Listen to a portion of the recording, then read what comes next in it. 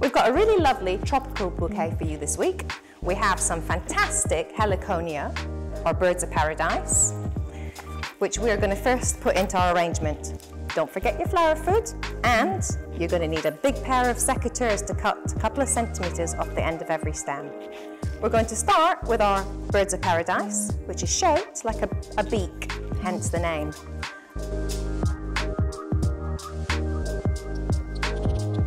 Then we're going to take our Brunia from the Cape.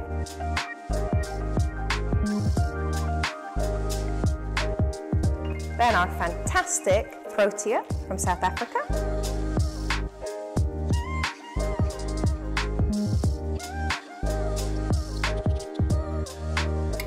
And finally, our lovely eucalyptus.